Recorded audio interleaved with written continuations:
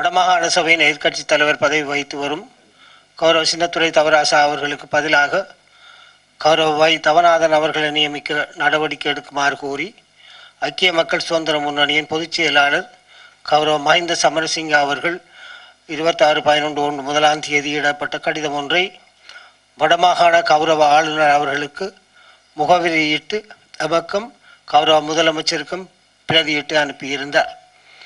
இக்கடிதத்தின் பிரதி எமக்கு பன்னெண்டு ஒன்று ரெண்டாயிரத்தி பதினாறாம் தேதி கிடைக்கப்பெற்றது. இக்கடிதம் முறைப்படியாக முகவரியிடப்படவில்லை என சுட்டிக்காட்டியும் ஆகையினால் அது தொடர்பாக அம்மால் மேல் நடவடிக்கை எடுக்க முடியாதிருப்பதாகவும் தெரிவித்து இதற்கு முன்னைய சந்தர்ப்பங்கள் எதிர்க்கட்சி தலைவர் தொடர்பாக எமக்கு முகவரியிடப்பட்ட இருபத்தஞ்சு நாலு ரெண்டாயிரத்தி பதினாலாம் தேதி கடிதத்தின் நிழல் பிரதியை இணைத்து பதினைஞ்சு ஒன்று ரெண்டாயிரத்தி பதினாறாம் தேதி கௌரவ ஆளுநர் அவர்களுக்கு எழுதியிருந்தேன். இந்த நிலையில் கௌரவ சி தவராசா அவர்களின் பதினேழு பதினொன்று ரெண்டாயிரத்தி பதினாறாம் தேதி இடப்பட்ட கடிதம் பதினெட்டு பதினொன்று ரெண்டாயிரத்தி பதினாறாம் தேதி எமக்கு கிடைத்தது.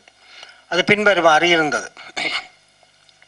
மேற்படி விடயம் சார்பாக ஐக்கிய மக்கள் சுதந்திர முன்னணியின் பொதுச் செயலாளரினால் ஒன்று பதினொன்று ரெண்டாயிரத்தி பதினாறாம் தேதி இடப்பட்டு தங்களுக்கும் எனக்கும் ஏனைய சிலருக்கும் பிரதியிடப்பட்டு கௌரவ ஆளுநருக்கு எழுதப்பட்ட கடிதம் தொடர்பாக வடமாகாண சபையின் சபையின் எதிர்க்கட்சி தலைவர் பதவிக்கு கௌரவ மாகாண சபை உறுப்பினர் வை. தவநாதன் அவர்களை நியமிக்குமாறு சிபாரிசு செய்திருப்பது தொடர்பாக ஊடகங்களில் வெளியான செய்திகளை தொடர்ந்து வடக்கு மாகாண சபையின் எதிர்க்கட்சி உறுப்பினர்கள் பலரும் என்னை தொடர்பு கொண்டு நானே தொடர்ந்து எதிர்க்கட்சி தலைவராக பதவி வைக்க வேண்டும் என்றும் அதற்கு தங்கள் பூரண ஆதரவு உண்டு என்றும் தெரிவித்துள்ளனர்.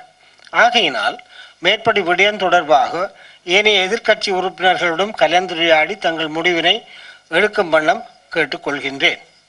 பின்னர் முறைப்படியாக எமக்கு முகவரியிட்டப்பட்டு ஒன்று பதினொன்று ரெண்டாயிரத்தி பதினாறு தேதியிடப்பட்ட கௌரவ ஆளுநர் கௌரவ முதலமைச்சர் இவர்கள் இருவருக்கும் பிரதியிடப்பட்ட கடிதம் பேரவை செயலகத்திற்கு இருபத்தி மூன்று பதினொன்று ரெண்டாயிரத்தி பதினாறாம் தேதி காலை மாலை ஐந்து பதினைந்து மணிக்கு கிடைத்திருந்தது.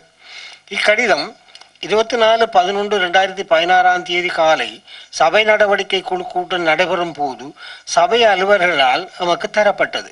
இது பற்றி முடிவெடுக்க கால அவகாசம் போதாமையால் அன்றைய தினம் சபை அ- அமர்விலேயே இந்திய உயரிய சபைக்கு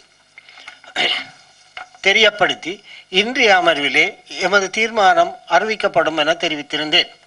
உண்மையில் எதிர்க்கட்சி தலைவர் கௌரவ சி. தவராசா அவர்கள் மேற்குறிப்பிட்ட கடிதத்தை எழுதியிருக்காவிடில் ஐக்கிய மக்கள் சுதந்திர முன்னணியின் பொதுச் செயலாளரின் கடிதத்திற்கு அமைய நடவடிக்கை எடுத்திருப்பேன். எனில் ஏனெனில் இவ்வாறு எழுதப்பட்ட முன்னிய கடிதங்கள் தொடர்பாக எதிர்க்கட்சியைச் சேர்ந்த எவரும் எதிர்ப்பு தெரிவிக்கவில்லை. எனினும் தம்மை எதிர்க்கட்சி தலைவராக தொடர வேண்டும் என எதிர்க்கட்சி உறுப்பினர் கோருவதாக தெரிவித்திருப்பதால் விடயத்தை முழுமையாக ஆராய்ந்து முடிவெடுக்கும் கடமையும் பொறுப்பும் உமது சுமத்தப்பட்டுள்ளது என்பதை நான் தெளிவாக உணர்ந்தேன். எதிர்க்கட்சி தலைவர் என்ற பதவி சட்ட ஏற்பாடுகளின் படி நிர்ணயிக்கப்படும் ஒன்றல்ல. அரசியலமைப்பிலோ மாகாண சபைகள் சட்டத்திலோ இந்த பதவி பற்றி எதுவும் குறிப்பிடப்படவில்லை. அத்துடன் பாராளுமன்ற நிலையியல் கட்டளைகளிலோ வடக்கு மாகாண சேவை நடைமுறை விதிகளிலோ இப்பதவி பற்றி எதுவும் குறிப்பிடப்படவில்லை. இது ஒரு மரபு வழிவந்த ஒன்றாகவே பாராளுமன்றத்திலும் மாகாண சபைகளிலும் இருந்து வருகிறது. இதே நிலையில் இந்திய மக்களவை மற்றும் மாநிலங்களவையிலும் உள்ளது இவ உள்ளது இவற்றின் எதிர்க்கட்சி தலைவர்கள் பற்றி பின்பாறு கூறப்படுகிறது Quote, the leader of the opposition is the politician who heads the official opposition in either house of the Parliament of India. Leader of the opposition as that member of the Lok Sabha or the Rajya Sabha who for the time being is the leader of that house of the party in opposition to the government having the greatest numerical strength and recognized as such by the chairman of the Rajya Sabha or the speaker of the Lok Sabha. The majority required is decided by the head of the houses, that is the speaker and the chairman as the case may be. Unquote. இலங்கையை பொறுத்தவரையில் கௌரவ இரா சம்பந்தன் அவர்கள் எதிர்க்கட்சி தலைவராக மூன்று ஒன்பது ரெண்டாயிரத்தி பதினான்காம் தேதி நியமிக்கப்பட்ட போது பின்வருமாறு கூறப்பட்டது TNA parliamentary group leader and Trincomalee district MP R. Sambandhan has been appointed as the opposition leader of the ninth parliament Speaker Karu Jayasuriya made this announcement when Parliament convened. Quote, I recognize Rajabarodhian Sambandhan as the leader of the opposition, House Speaker Karu Jayasuriya said. இவற்றின்படி எதிர்க்கட்சி தலைவரை தீர்மானிக்கும் பொறுப்பும் decide மற்றும் அங்கீகரிக்கும் பொருட்டும் recognise கடமையும் உரிமையும் தவிசாளருக்கு உரியது என்பதை நான் தெளிவாக புரிந்து கொண்டேன். எனவே மேற்படி மேற்குறிப்பிட்ட பாராளுமன்ற முன்மாதிரிகளுக்கு மேலாக ஏனைய மாகாண சபையிலுள்ள நடைமுறை விதிகளில் ரூல்ஸ் ஆஃப் ப்ரொசீஜர் உள்ள பின்வரும் ஏற்பாடுகள் எம்மால் பரிசீலிக்கப்பட்டது. பதினொன்று ஆனா சப்ரகமோ மாகாண சபை. விதி பன்னெண்டு ஒன்று ஆ இ. அது சிங்களத்திலே இருப்பது இருக்கிறது அஹ், விபக்ஷ நாயக துரிய சபாவேகி විපක්ෂ නායක දුරයක් තිබිය යුතුය. සභාවේ විපක්ෂ නාය නියෝජනය කරන සියලුම පක්ෂ හෝ කණ්ඩායම් බල බෞද්ධර මන්ත්‍රීවරු විසින් සභාපතිවරයා වෙත කරුණු ලබන ලිඛිත ඉල්ලීමක් අනුව එම පක්ෂය හා කණ්ඩායම් වල විශ්වාසය වරාත් දිනාගත් මන්ත්‍රීවරයා සභාපතිවරයා විසින් විපක්ෂ නායකවරයා වශයෙන් පත් කර කළ යුතුය. ඊ විපක්ෂ නායකවරයා දුරයෙන් ඉවත් කළ යුතුයයි හේතු දක්වමින් විපක්ෂයේ පක්ෂ හා කණ්ඩායම් වල මන්ත්‍රීවරුන්ගේ බෞද්ධර විසින් சபாபதி ವರಯ லிக்கித்த ಲಿಖಿತ கலஹு ஏ ಏ கருணு சலகாபலஹு ಸಲಕಾಬಲಹು விபக்ஷ நாயக்க வரையா துரையன் இவத்கல ಇವತ್ ಕಲ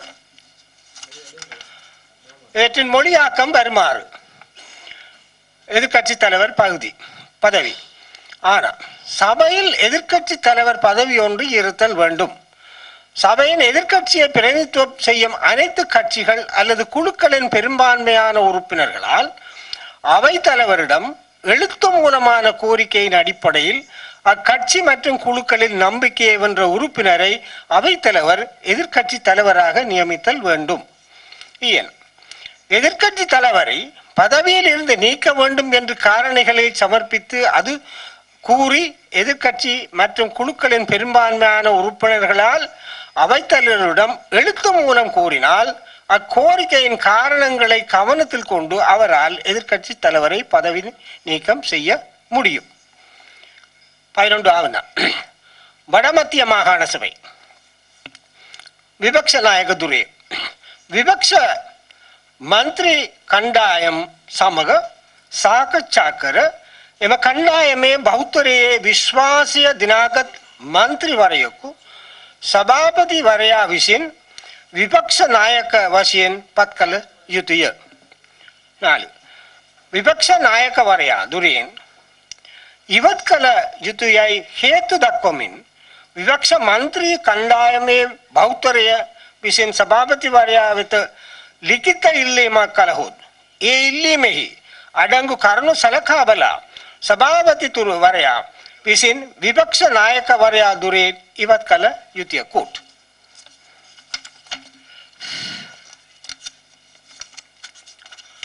இதன் தமிழாக்கம் பின்வருமாறு எதிர்க்கட்சி உறுப்பினர்களுடன் கலந்துரையாடி அக்குழுவின் பெரும்பாலான நம்பிக்கையை வென்ற உறுப்பினர் ஒருவரை அவைத் தலைவர் எதிர்க்கட்சி தலைவராக நியமித்தல் முடியும் நாலு எதிர்க்கட்சி தலைவரை பதவியில் இருந்து நீக்க வேண்டும் என்ற காரணங்களை தெரிவித்து எதிர்க்கட்சி உறுப்பினர் குழுவின் பெரும்பான்மை உறுப்பினரால் அவைத்தலைவரிடம் எழுத்து மூலம் கோரினால் அக்கோரிக்கையில் அடங்கிய காரணங்களை அவதானத்தில் கொண்டு அவைத்தலைவர் எதிர்க்கட்சி தலைவரை பதவியிலிருந்து நீக்க முடியும் தென் மாகாண சபை அது ஆங்கிலத்தில் quote There shall be an office as the leader of the opposition in the council. The chairman may, at the written request of a majority of members of the opposition groups, may appoint as leader of the opposition a member who has won the confidence of the opposition group. 3. If a majority of members of the opposition group makes a written request to the chairman that the leader of the opposition be removed from that office, giving reasons therefore, he may, after consideration of the reasons adduced, remove the leader of the opposition from office. Vayamba Mahana විපක්ෂ නායක දුරය. සභාවයෙහි විපක්ෂ නායකා දුරය තිබිය යුතුය. විවක්ෂ කණ්ඩායම් විසින් සභාපතිවරයා වෙත කරනු ලබන ලිඛිත ඉල්ලීමක් අනුව එම කණ්ඩායමේ සමගක් සාකච්ඡා කර විපක්ෂයේ බෞද්ධරයේ විශ්වාසය දිනාගත් මන්ත්‍රීවරයෙකු සභාපතිවරයා විසින් විපක්ෂ නායකවරයා වශයෙන් පත් කිරීම හෝ දුරිය ಧರಣ ವಿಪಕ್ಷ ನಾಯಕ ವರ್ಯ ಇವತ್ಕಿರಿ ಮಹು ಕಲ ಹೆಕಿಯ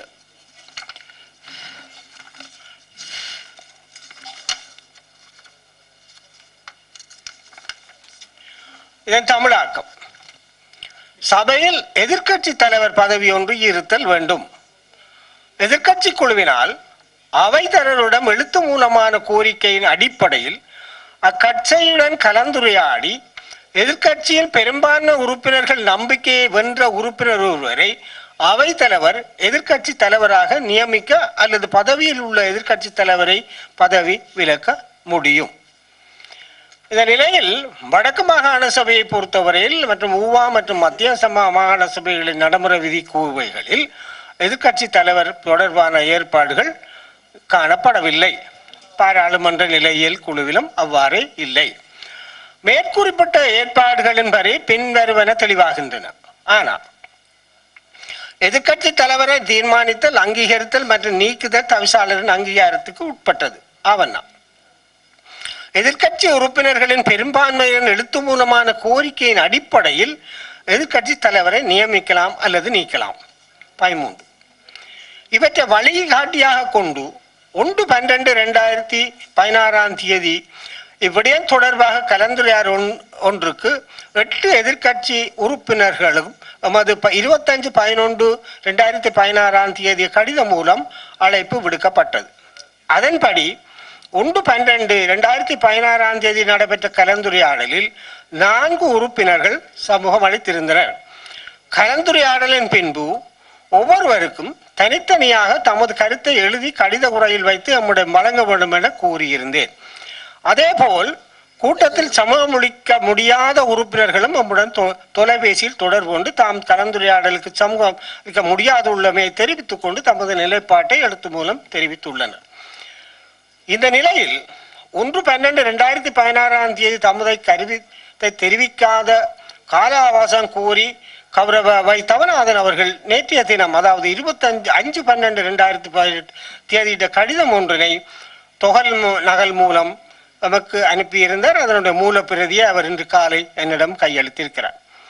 அதில் கௌரவசி தவராசா அவர்கள் ஒரு வாரமாக தமக்கு சாதகமாக ஏனைய எதிர்க்கட்சி உறுப்பினர் பேச்சுவார்த்தை நடாத்தியதாகவும் அவர்களிடம் சம்மத கடிகளை பெற்றதாகவும் தெரிவித்து தமக்கு அதே வாய்ப்பு கிடைக்கவில்லை என்பதால் இன்றைய தினம் இந்த விடயத்தை எடுத்துக்கொள்ள வேண்டாம் என கோரியிருந்தார்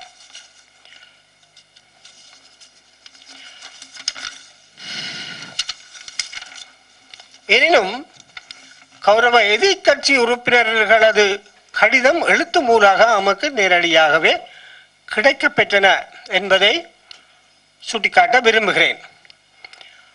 மேலும் கடந்த இருபத்தி நாலு ப இரண்டாயிரத்தி பதினாறாம் தேதி அறுபத்தாறாவது அமரில் இந்த உயரிய சபைக்கு நான் அறிவித்தபடி எமது முடிவை இன்றைய அமர்வில் தெரிவிப்பது எமது கட்டாயமான கடமையாக அமைகின்றது. இதே நேரம் இந்த விடயத்தை தமக்குள்ளேயே பேசி தீர்க்காது பந்தை எமது பக்கம் திருப்பிவிட்டு தேவையற்ற சங்கடத்தை ஏற்படுத்தி எதிர்மறையான விமர்சனங்கள் செய்வது பொருத்தமற்றதாகவும் நியாயமற்றதாகவும் கவலைக்குரியதுமாகும் ஆகும். எனவே மரபுவழி சம்பிரதாயங்கள் முன்னுதாரணங்கள் ஏனைய மாகாணங்களுள்ள விதிகள் என்பவற்றை ஆராய்ந்து பார்த்த பொழுது எட்டு மாகாண சபை உறுப்பினர்களில் ஒரு உறுப்பினர் நடுநிலைமை வகிக்க மற்றவர்களுடைய பெரும்பான்மை உயர் இந்த உயரிய சபையின் பெரும்பான்மை எதிர்க்கட்சி உறுப்பினர்கள் கௌரவ சி சவராசா அவர்களே எதிர்கட்சி தலைவராக இருத்தல் வேண்டும் என தெரிவித்திருப்பதால் கௌரவசி தவராசா அவர்களே தொடர்ந்தும் வடக்கு மாகாண சபையின் எதிர்க்கட்சி தலைவராக தொடர்ந்து பதவி வைப்பார் என தெரிவித்துக் கொள்கின்றேன். நன்றி. இப்பொழுது இத்துடன் இந்த அவை நாளைய தினம் காலை ஒன்பது முப்பது மணிக்கு ஒத்திவைக்கப்படுகிறது. என்னுடைய கருத்தை கூறுவதற்கு அதை இன்று கூறுவதா அல்லது நீங்கள்? என்னுடைய கருத்து கௌரவ அவைத்தலைவர் அவர்களே இது நாளைய தினம் கௌரவ தவநாதனுக்கு அந்த அவகாசத்தை வழங்குவது இந்த தீர்மானம் என்னுடையது.